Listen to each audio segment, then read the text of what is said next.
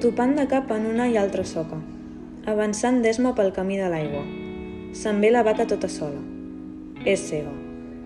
D'un cop de roc llançat amb massa traça, el bailet va buidar-li un ull i en l'altre se li ha posat un tel. La vaca és cega. Ve a beurar-se a la font com en solia, més no amb el ferm posat d'altres vegades ni amb ses companyes. No, ve tota sola.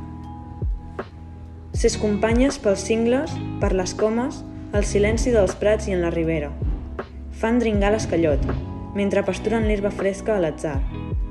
Ella cauria. Topa de morro en l'esmolada pica i recula afrontada. Però torna i baixa el cap a l'aigua i veu calmosa. Veu poc, sense gaire set.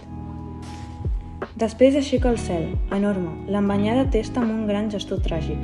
Parpelleja damunt les mortes nines i se'n torna orfa de llum sota el sol que crema.